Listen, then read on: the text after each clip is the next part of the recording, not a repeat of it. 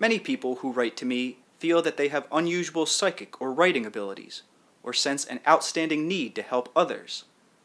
They constantly compare what they do with what they think they are capable of, but often without making a start toward the development of their own abilities.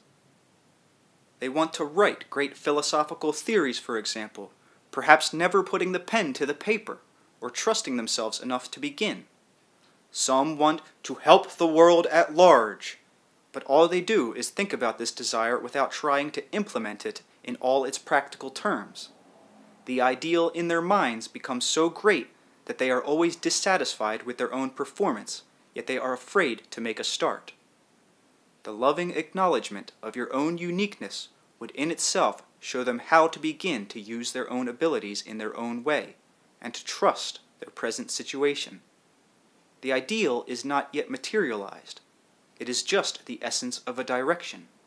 But that direction can only be found by using what you have in the now that you know, and by acquiescing to your own opportunities and abilities, and using those through the power of the present.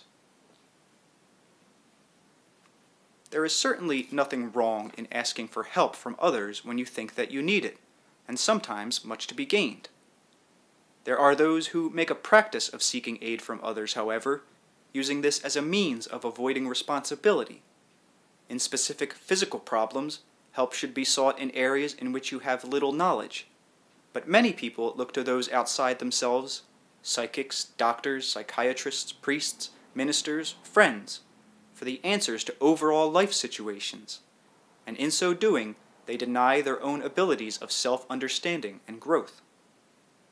Because of your educational framework, the individual is taught to be wary of the inner self, as mentioned earlier, so unfortunately, the ordinary man or woman looks for the solutions of personal problems outside of the self, where they can least be found.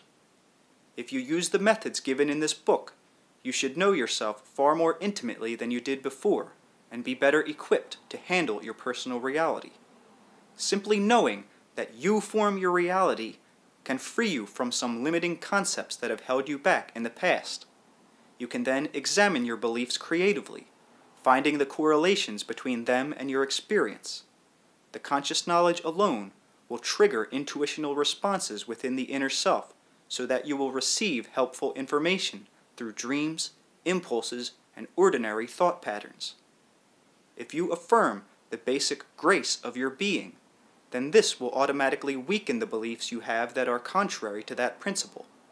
You will be able to hold equally within your experience the vision of an quote unquote ideal self and all those natural deviations from it. You will begin where you are and joyfully start to expand those attributes that you have now without expecting them to appear full blown. You will love yourself and have no difficulty in loving your neighbor. That does not mean that you must be unaware of divergences from your ideal concept of the beloved. And again, it does not mean that you must smile constantly, but that you affirm your validity and grace within the dimensions of your creaturehood. As soon as you begin to compare what you are with some idealized concept of yourself, you automatically feel guilty. Until you work with your beliefs, this guilt can be initiated by the most harmless episodes and characteristics. It is a good idea to write down a list of specific acts or incidents that fill you with a sense of guilt.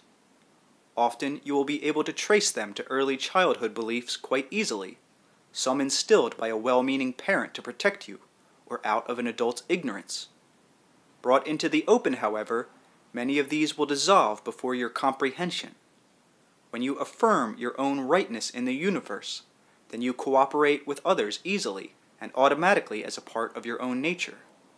You, being yourself, help others be themselves. You are not jealous of talents you do not possess, and so you can open heartedly encourage them in others. Because you recognize your own uniqueness, you will not need to dominate others nor cringe before them. You must begin to trust yourself sometime. I suggest you do it now. If you do not, then you will forever be looking to others to prove your own merit to you, and you will never be satisfied. You will always be asking others what to do, and at the same time resenting those from whom you seek such aid. it will seem to you that their experience is legitimate and yours counterfeit. You will feel shortchanged. You will find yourself exaggerating the negative aspects of your life and the positive sides of other people's experiences. You are a multidimensional personality. Trust the miracle of your own being. Make no divisions between the physical and the spiritual in your lifetimes, for the spiritual speaks with a physical voice, and the corporeal body is the creation of the spirit. Do not place the words of gurus, ministers, priests, scientists, psychologists, friends, or my words higher than the feelings of your own being. You can learn much from others, but the deepest knowledge must come from within yourself. Your own consciousness is embarked upon a reality that basically can be experienced by no other, that is unique and untranslatable, with its own meaning, following its own paths and becoming.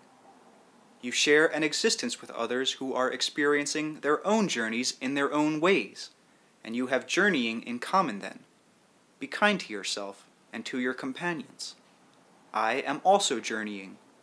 What information and knowledge I have, I try to give to you through Ruburt and Joseph, who are parts of me in your space and time, but they are themselves as I am myself. Now, Ruburt's own beliefs in the nature of his consciousness helped bring about these sessions. Ruburt and Joseph have both worked with the nature of creativity, and from an early age, each of them sought for answers. But most of all, they trusted the destiny and grace of their beings. They might have felt that they had lost direction at times. For certain periods, they might have had problems in which they forgot their aims momentarily, and yet their beliefs in themselves individually and together, were strong enough to give them their present reality. Many who write want to develop and use the same abilities, yet it is obvious from their letters that their beliefs prevent them from trusting the inner self enough. You cannot fear your own being and expect to travel through it to explore its dimensions. First, you must take the simple step of affirming your identity. That affirmation will release those attributes that you have and open up new avenues of experience. They will and must be your own. When you ask others to interpret your dreams, for example, you are automatically putting the fulfillment of your own potentials a step away. When you ask another to tell you the direction of your life, then to some extent you keep from yourself the realization that you yourself possess. Without that awareness, no methods will help you. Now, in ordinary terms, this book has included no esoteric instructions to help you achieve what you may think of as spiritual development or psychic expertise. Yet, it is a preliminary for all of those who want to use creaturehood as a framework through which to perceive and experience other realities. As I mentioned earlier, you will not become more spiritual by denying your flesh. This is the life you are living Trust the living that flows through you. By doing so, other realities will make themselves known. They will add dimension and depth to your present reality. You make your own reality, wherever you travel and in whichever dimension you find yourself. Before you embark upon other journeys of consciousness, understand that your beliefs will follow you and form your experience there as they do here. If you believe in demons, you will meet them, in this life as enemies, and in other realms of consciousness as devils or quote unquote evil spirits. If you are frightened of your emotions and believe them wrong, then when you try quote unquote psychic experiments, you may believe that you are possessed. Your feelings, the repressed ones, will seem demonic. You will be afraid to assign them to yourself, and so will think that they belong to a disembodied spirit.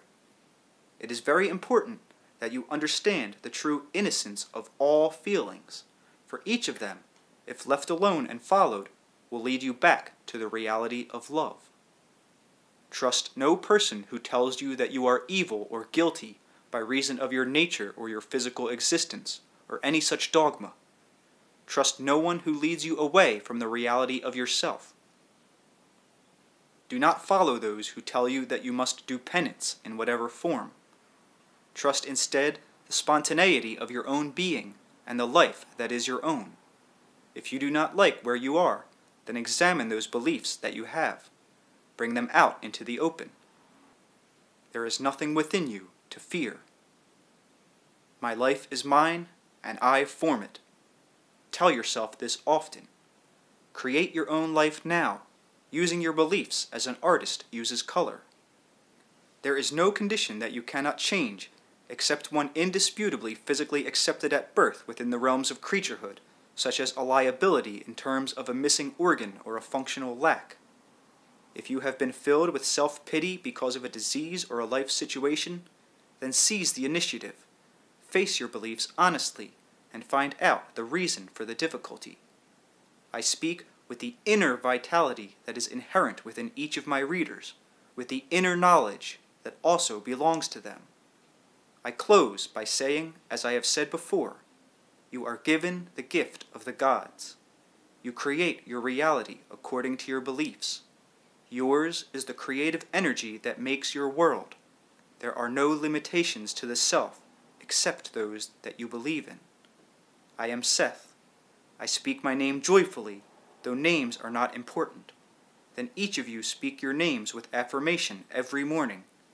You create your life through the inner power of your being, whose source is within you and yet beyond the selves that you know. Use those creative abilities with understanding abandon.